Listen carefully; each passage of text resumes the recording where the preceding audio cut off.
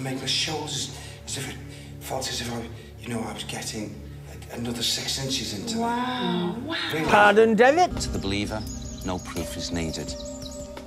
To the non believer, no proof is possible. When she sees him, she runs. She's scared of him. Yes.